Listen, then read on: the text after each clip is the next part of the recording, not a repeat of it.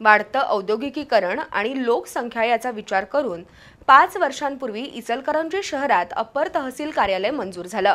जुन्या नगरपालिकेच्या इमारतीत हे कार्यालय सुरू असूनही अजूनही हे कार्यालय पूर्ण क्षमतेनं सुरू नाही.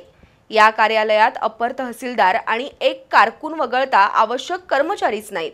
तरीही इचलकरंजीला स्वतंत्र तालुका किंवा स्वतंत्र जिल्हा म्हणून घोषित करण्याची मागणी काही लोकप्रतिनिधींकडून होती आहे आधी किमान अपर तहसीलदार कार्यालय पूर्ण क्षमतेनं सुरू करावं आणि मगच स्वतंत्र तालुका अथवा जिल्हा करायचा याबाबत चर्चा करावी अशी अपेक्षा अनेक नागरिकांनी बोलून दाखवली. वस्त्रोद्योग आणि त्यावर अवलंबून असणारे अनेक उद्योग व्यवसाय इचलकरंजीत मोठ्या प्रमाणात आहेत.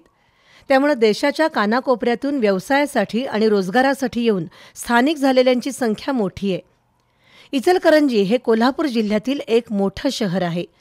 या शहरासाठी आता महानगरपालिका अस्तित्वात आहे. तर प्रांत कार्यालय अप्पर पोलीस अधीक्षक कामगार अधिकारी जिल्हा सत्र न्यायालय सहकार उपनिबंधक विभागीय post RTO passport income tax अशी अनेक महत्त्वाची शासकीय कार्यालयं इचलकरंजीत आहेत. मात्र महसूल विषयक कामांसाठी अजूनही इचलकरंजीतील नागरिकांना हातकणंगलेमध्ये जावं लागतं. त्यामुळे इचलकरंजी अप्पर तहसीलदार कार्यालय सुरू करावं अशी मागणी होत होती.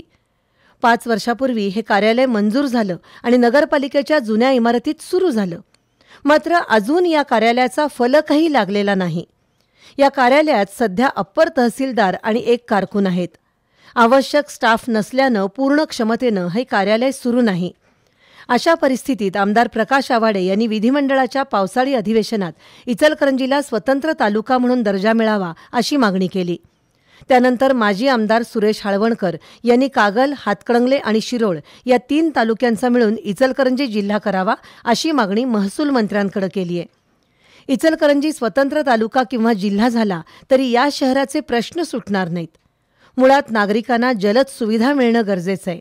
त्यामुळे स्वतंत्र तालुका किंवा जिल्ह्याचं ठिकाण करण्यापेक्षा प्रशासकीय कामकाज गतिमान करावं अशी नागरिकांची मागणी आहे.